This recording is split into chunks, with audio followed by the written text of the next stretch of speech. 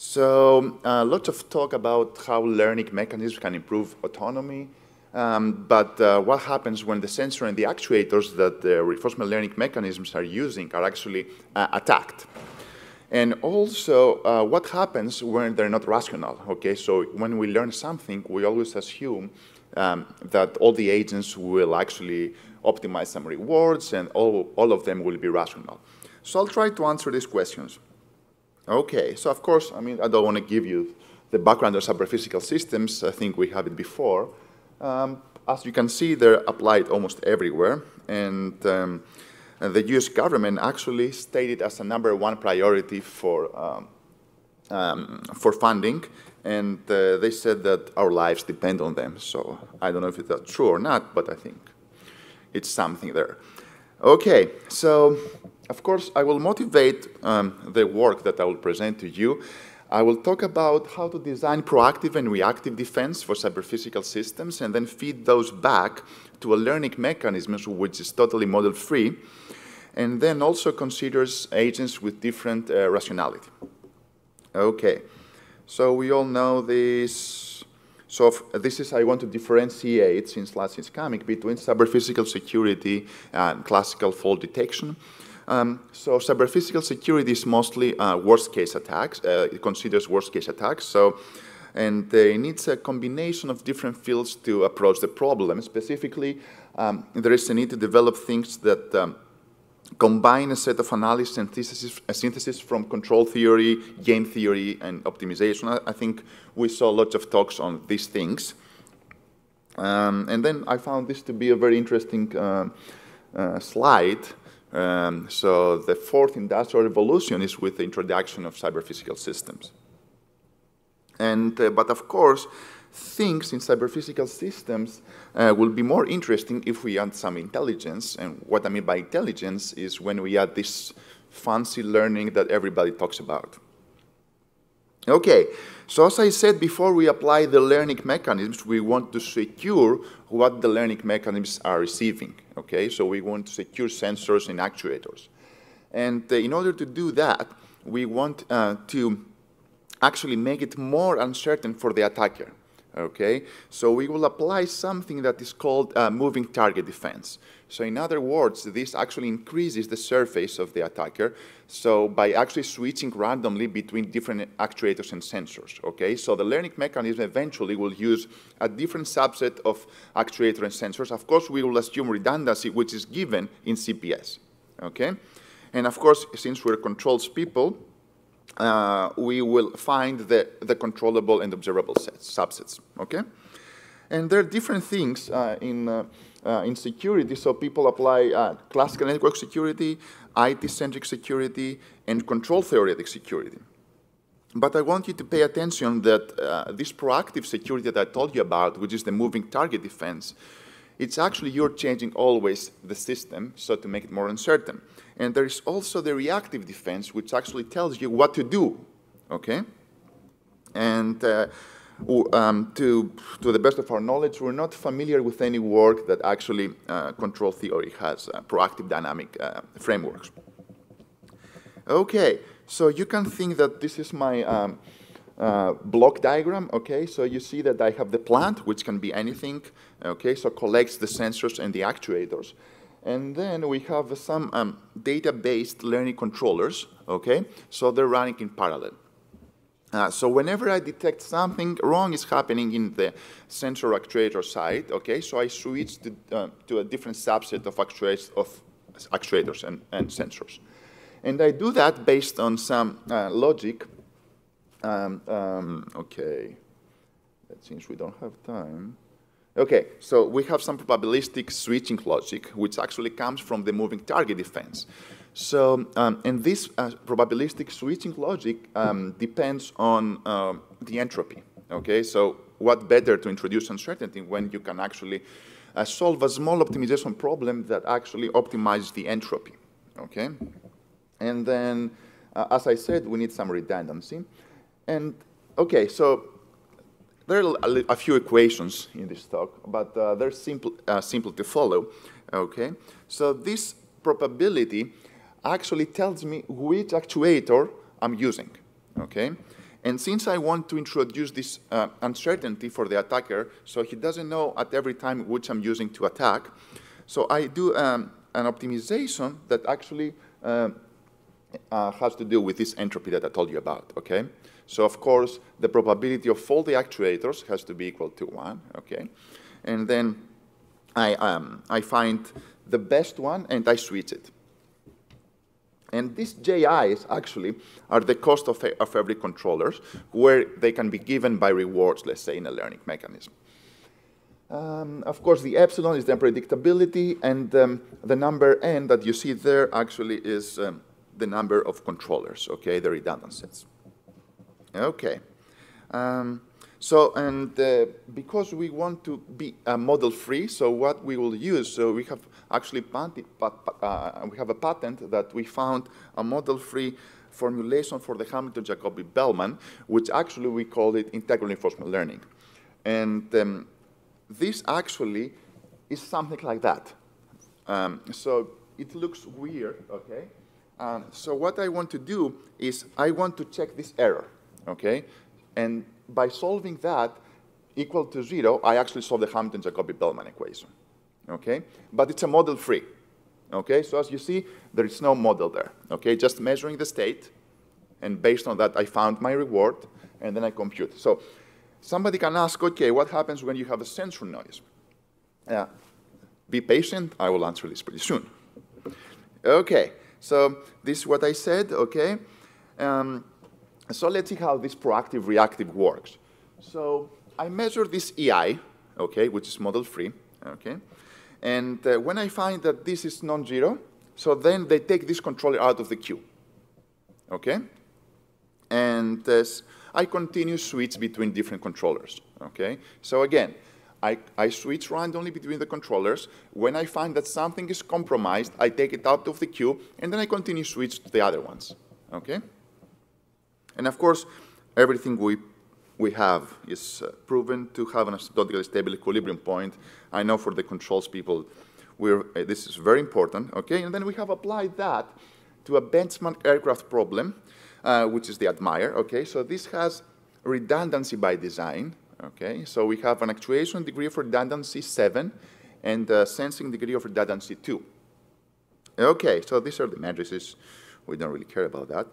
Uh, and of course, for those of you who are not aerospace engineers, so we get some redundancy by design, okay? So, so the canard or elevons, they provide the pitch moment, so you see the redundancy there.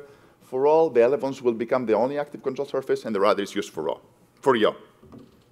Okay, so here what you see is what I'm doing, I'm doing unpredictable switching, okay? So the attacker hasn't, hasn't yet attacked, okay? So, but I'm switching, you see the different controllers, this is the switching signal, and you see that eventually everything works pretty well. Again, this is not the attack scenario, okay? This is the attack-free scenario. Okay, and of course, since uh, I want to do optimality, okay, I always switch to the best controller, okay?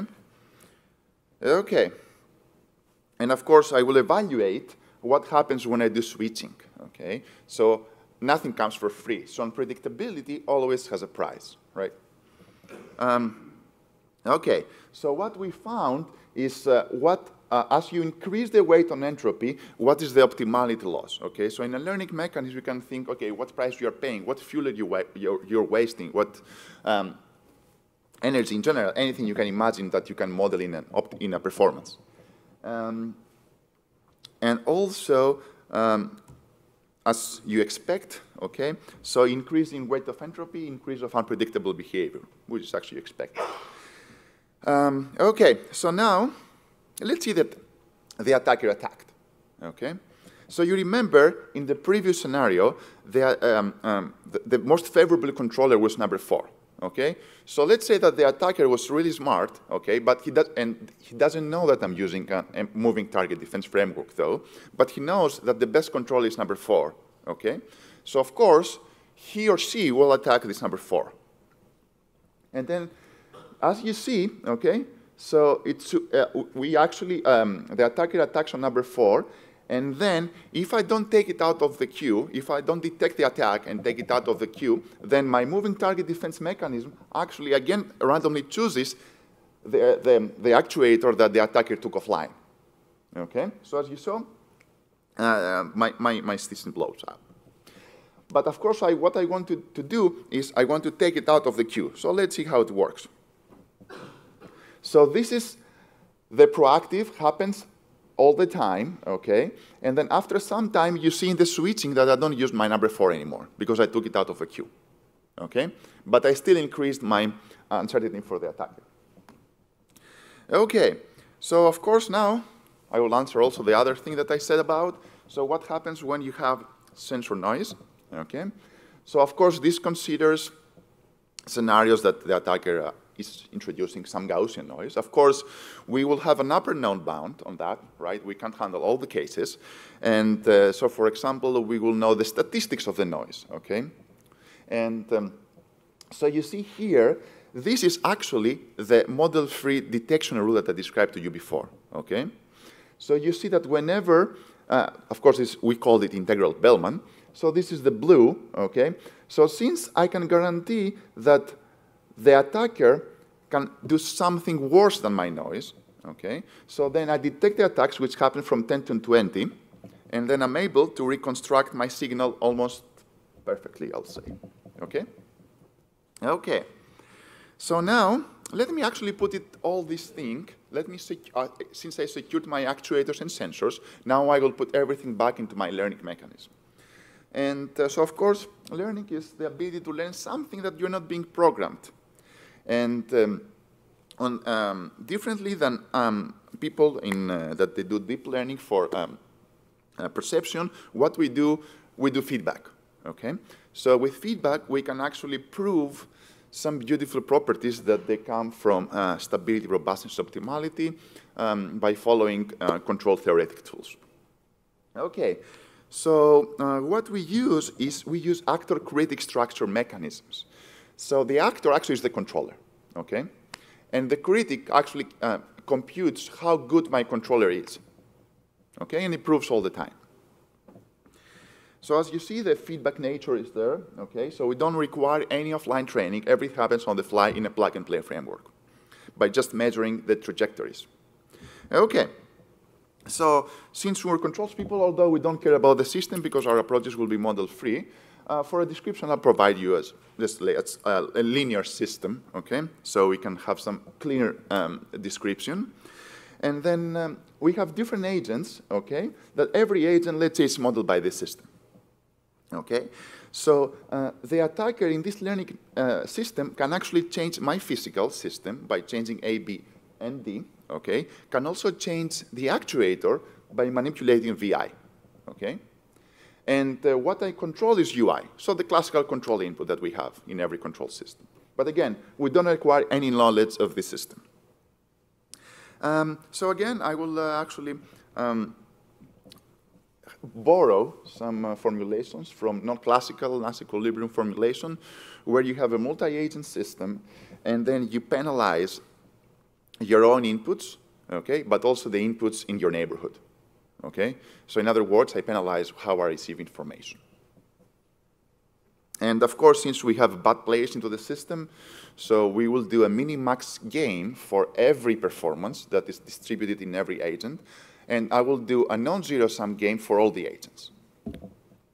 Okay, and uh, let's see how we can do that. So as I told you, everything before was model, model based, but now I want to define it in a model-free scenario. And I will borrow what is called Q-learning. Q-learning was primar primarily um, developed for uh, MDPs and for, it's actually in other words, discrete time systems. And, uh, but for uh, continuous time systems, it's not easy to do because the Hamiltonian, let's say, that actually brings together the dynamics with the rewards contains the dynamics, okay? But in discrete time system, this is not true. So that's why people that they do Q-learning, they actually use discrete time systems. So we find a way to define the advantage function in, in the way that you see there. So the, the Q function, in other words, is uh, a state and action-dependent function, okay? And in other words, we want to find a way to, to compute this Q, And since we don't have time, uh, let me move a little bit, okay? So the classical approach is, is, of course, since we want to have the Q function, we will actually employ stationarity conditions, okay? So in other words, we will compute the best minimizing player and the worst maximizing player. And of course, this is the classic model base that people that are familiar with optimal control know. Okay. And of course, we want tuning laws for uh, my critic and my actor. Okay, so uh, we will use gradient descent. And this will give us the classical plug-and-play uh, algorithms that we can just plug them in, this, in the system, and the system will eventually solve this difficult optimization problem without requiring any knowledge about the system. And then, uh, again, I told you that, uh, but not all the learning agents are rational, okay? So, and then uh, I'm coming to, to the end of my talk. So again, so if we don't know anything about these two learning mechanisms and we have actuator attacks, so you'll see that my, my systems will blow and I won't be able to synchronize to what my leader tells me, okay? Um, but uh, if we employ our learning mechanisms, you will see that not only will I synchronize, but also I will be optimal.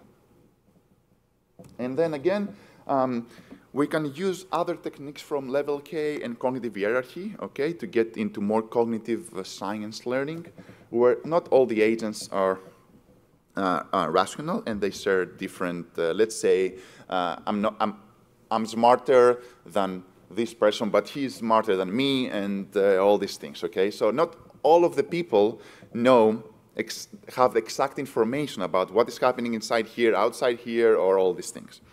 So this boundary rationality actually captures these scenarios, okay? And in a cyber-physical system, this is very important because most of the cyber-physical systems, they actually being operated by humans or they have humans in the loop. And uh, so uh, there is a pretty good trick on how to model different levels of intelligence by using Poisson distributions. And um, in other words, we can uh, use these Poisson distributions in the computations of our actor um, um, and critic frameworks that I described before.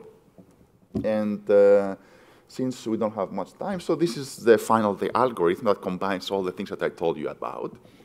And, um, and of course, let's say that in my multi-agent scenario, I had um, attackers of different levels, okay?